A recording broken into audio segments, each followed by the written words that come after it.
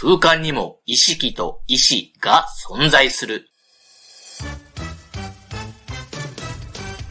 3度蘇り3000万円の自己投資をする人生学校があなたの時間とお金をドカンと節約します。今回は波動の報告書、足立育郎の世界、小林聖館長の究極のまとめです。では、早速結論から行きましょう。すべては波動、投げかけたものが返ってくる。大事な部分ですので、もう一度、すべては波動、投げかけたものが返ってくる。以上です。なぜか人生頑張っているのにうまくいかない。引き寄せの法則が理解できない。そんなお悩みを吹き飛ばしてくれる内容です。この動画を最後まで見ることで、なるほど、宇宙はそういう仕組みになっているのね。ということがはっきりとわかり、すっきりした人生を送ることができるはずです。それでは目次行きましょう学習編1、空海の座右の銘とは ?2、脳は周波数の変換装置。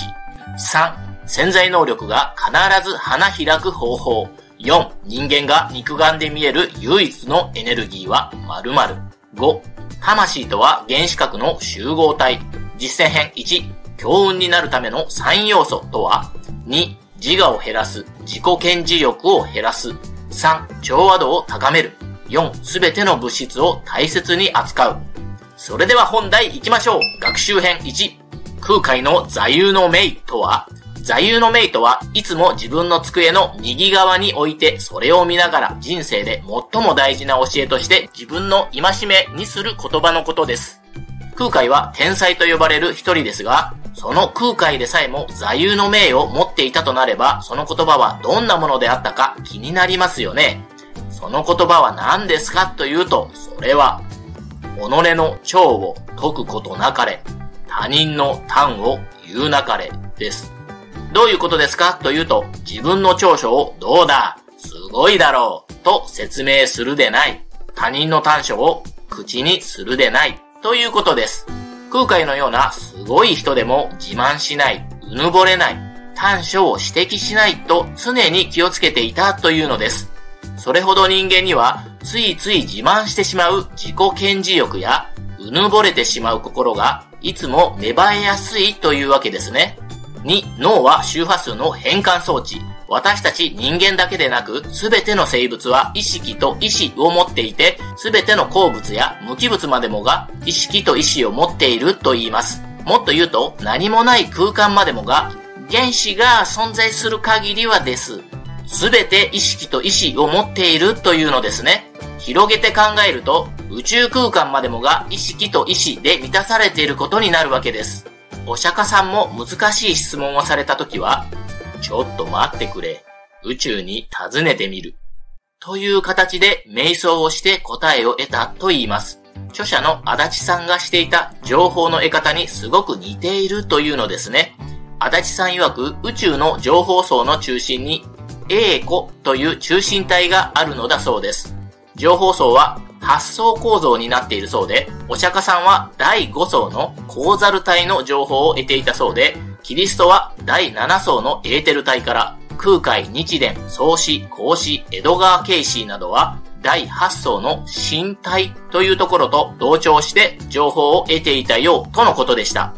足立さんは膨大な波動領域の中に宇宙情報が飛び交っている周波数帯が存在するのではないかや人間の脳はそれをキャッチする素晴らしい高性能の受信機なのではないかと波動の研究中にふと思ったそうです。後に脳は受信機であると同時に脳は発信機でもあるということに気がつくのですね。3、潜在能力が必ず花開く方法。人間が持ついやらしい部分の人格を少なくして、すべての存在物に優しさと慈しみの心を持つといった素敵な部分の人格を伸ばせば、どうも潜在能力は必ず花開くそうです。そういった自我の部分を減少させて、自分が可愛い、大事であるという気持ちを恋人が大事、家族が大事、親類縁者が大事、日本が大事、銀河系が大事、宇宙すべてが大事というように拡大させていって、そういった思いを持って、かつ実行を始めると、その拡大した同じ大きさに魂が広がっていくらしいのです。宇宙の存在物すべてが大事と思って宇宙での存在物を脅かさない。愛を投げかける。そういう実践ができたら、魂は宇宙の大きさまで広がるということです。そこまで広がれば、宇宙イコール魂イコール自分ですから、宇宙規模の情報が得られるようになって、宇宙現象が自分の考えに合った形で起こるというのですね。4、人間が肉眼で見える唯一のエネルギーは〇〇。結論から言うと、水です。人間が肉眼で見える唯一のエネルギーは水というのですね。地球は水の星と言いますが、水というのはかなり面白い存在のようです。原子という物質、つまり粒子が回転運動をしたら何になるかというと、それは水になるらしいのですね。ですので、水はエネルギーの塊と言えるのだそうです。原子は有名な103種類、それにいくつか加わって、現代では百十数種類は見つかっているそうですが、足立さんからの情報では宇宙に1032種類あるそうです。ただ、地球上で原子として取り出せて確認できるようなものは少なくて、近々150何種類かが判明するでしょう、とのことでした。5、魂とは原子核の集合体。以下の図形はアトム図形と呼ばれて、自然の法則に適合していて、陽子、中性子、電子が調和している形だそうです。この図形は自然界の存在物すべての調和を図るという振動波を出しているとのことでした。いかがですか？あなたはパワーを感じますか？敏感な方は感じたりするようです。足立さん曰く、魂のことをエクサピーコと呼ぶそうですが、これは存在するすべてのものに宿っているもので、中性子プラス陽子などからなる原子核の集合体だと言います。ちなみに原子核っていうのはこんな感じのものです。物質の中に原子があって、その中に原子核があるのですね。その中に陽子と中性子があるわけです。原子核の数や周波数や波動の高さの違いで鉱物、植物、動物、そして人間などとして違った形で存在しているのだそうです。足立さんはこれからお伝えする結果をある時に得て、めちゃめちゃ大きなショックを受けて2日間ほど呆然としていたそうです。その結果とは何ですかというと、中性子イコール意識、陽子イコール意志です。もし意識イコール中性子、意志イコール陽子だとすれば、微生物も無機物も植物も動物も人間もそして宇宙空間でさえも原子が存在するところには全てに意識と意志があるということになるのです。実践編1、強運になるための3要素とは強運になるための3要素は一体何ですか？というと、それは感謝する心、明るい心、誠実さです。大事な部分ですので、もう一度、感謝する心、明るい心、誠実さ、感謝する心とは、自分が何かをなすことができたのは、天や地や人が味方してくれたからであって、すべてが自分の力、つまり実力や才能でできたわけではない。だから感謝をするということです。それを理解できている人はいつも天や地や人に感謝しているので、決してうぬぼれることがありません。ですので、自分の自慢話にもならないというわけです。ちなみに著者の足立さんは自己顕示欲や自慢話をほんの少しでも見せたり感じさせたりしない方だったそうです。明るい心とは、どんな日でも夢や希望や展望を失わない心のことだそうです。誠実さはそのまんまの意味ですね。2、自我を減らす。自己顕示欲を減らす。聖寛さんは潜在能力開発の入り口としてスプーン曲げをやってきたそうですが、結果いくつかのことが分かったそうです。そのうちの一つは心が穏やかで平和で満ち足りている時にスプーンが曲がりやすいです。松任谷由実さん、ユーミンは優しさに包まれたならという曲でこういう歌詞を書きました。小さい頃は神様がいて不思議に夢を叶えてくれた優しい気持ちで目覚めた朝は大人になっても奇跡は起こるよって、まあまあ、音痴やないかい。少し遊んでしまいました。まさにこの歌詞の通りですというのです。目の前の現実にイライラしたり、結果にこだわったり、自我や自己顕示欲が強いと花咲かないらしいのですね。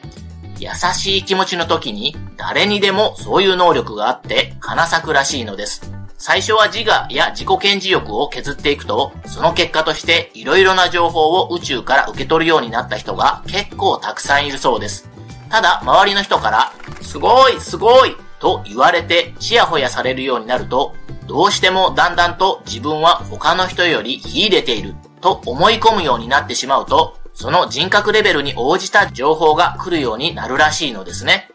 だからこそ、もし直感やひらめきが来るようになったとしても、謙虚さだけは失ってはいけないというのです。この謙虚さは、人の優しさや物の美しさや神の秘め事を感じ取る感性と宇宙の構造、生命の構造、人間の構造を把握する知性に続く三つ目の品性でもあると聖寛さんは言います。そしてこの品性も3つの要素から成り立っていると言います。それは、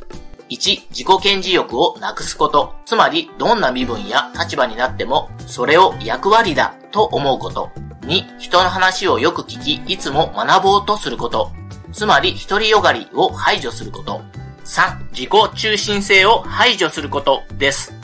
3、調和度を高める。足立さんは言います。ここ最近5000年はいかに自分の肉体を安全に快適に保つかというのがテーマだったようです。人間の考え方はだんだん自分だけはとか自分の家族だけはとか自分の会社だけはとか自分の民族だけはとか自分の国だけはという風に自己中心性に発展していったそうです。ですが魂は別のプログラムを持っているのだそうです。それは何かというと、自分の存在が他の存在、つまり人間も動物も植物も問わない。宇宙に存在するすべての存在と調和を保ちながら生きるというものです。例えば地球上のあるところで食料がない、食べるものがない。一方で自分だけは、自分の国だけはと備蓄して貯蔵するところがあります。こういうのは不調和というわけですね。地球上の存在物を借りて魂、つまりエクサピーコは、プログラムされている調和を実践していくというわけです。足立さんは言います。エゴを離れていかに宇宙の万物と調和するか。それがそれぞれのエクサピーコのテーマと言っても良いでしょう。ちなみに、あるがままとわがままは違うと言います。あるがままに生きるというのは、自分もあるがままにやるのですが、相手のあるがままを受け入れるということです。わがままというのは自分はあるがままにやるのですが、相手のあるがままは受け入れないことなのですね。4、すべての物質を大切に扱う。人間や生物が死ぬと分子や原子に分解されます。カリウムやカルシウム、鉄分など、すべての生命体の構成要素は、すべてが地球上に存在する原子なのです。それらの原子が集められてきて生物を構成しています。例えば、小道を歩いているとします。そこで足元の石ころを一つ蹴ったとします。その石は坂道を転がって崖から落ちて心地よく昼寝をしていた狸にポンとぶつかって単行部を作ったとします。そうすると、その蹴られた石にも石がぶつかってきた狸にもそうした記憶が宿ってそういう事実が認識されるというのです。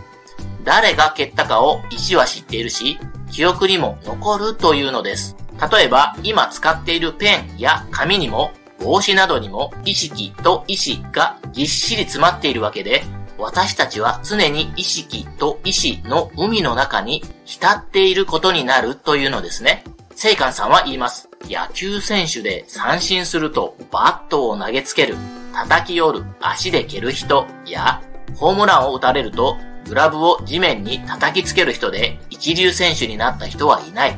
テニスでもそう。気に入らないジャッジや自分のミスに頭に来て、ラケットを投げる、叩きつける、ボールを蹴るという人は、そのやり方を改めたところから、さらに強くなって一流選手になりました。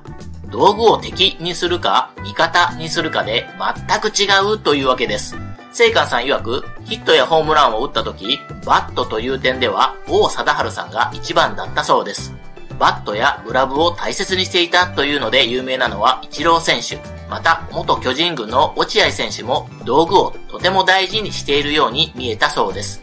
足立さんがおっしゃるように、すべてのものに意識と意志があるなら、バットにも、グラブにも、ボールにも意識と意志があるに違いありません。プロ野球の選手になるくらいの人の運動神経や筋力は並外れたもので、バットの中心にボールが当たれば間違いなくホームランになるくらいの力を持っているプロの4番打者でさえなかなかホームランになりません。セイカンさんが言うように、わずか1、2ミリの差をバット自身がコントロールできるとしたら、もう少し飛んでホームランになるという現象があるのかもしれませんよね。おまけです。エゴのエネルギー集合体が活断層。人間のエゴが強くて不調和なレベルが増幅されてパワーアップされたエクサピーコ、つまり魂はどんどん地下に潜っていくそうです。そういうエクサピーコが集中的に高密度に集まったところが活断層というのですね。人間の意識がどうやら地震などと関係しているようです。波動の報告書、足立育郎の世界、小林聖館長、いかがでしたか？聖館さんの本は不思議で面白い本が多いですよ。内容に興味のある方は読んでみることをお勧めします。高評価、低評価、感想などコメントいただけると嬉しいです。今回は突っ込みどころが多かったかもしれません。今のところすべてのコメントに目を通しています。いつもありがとうございます。お知らせです。人生学校 LINE 作りました。登録された方に7大特典を少しずつ準備中です。人生学校 LINE のリンクを説明欄とコメント欄に入れておきますね。最後までお聞きいただきましてありがとうございましたあなたは波動を変えることで、ますます素晴らしい人生を送ることができます。動画を見ても本を読んでも波動を良くする実践までなかなか落とし込めていないというあなたのために波動の報告書さらなる人生学校的超実践編を別に準備してみました。名誉メンバー限定でお届けします。さらに今でしたら過去160本以上の有料名誉メンバー動画、生ライブ動画、固定コンテンツなども含めて全動画が本1冊分の値段で1ヶ月間視聴できますよ。めちゃめちゃお得です。お楽しみに。それではまたお会いいたしましょう。ご縁に感謝いたします。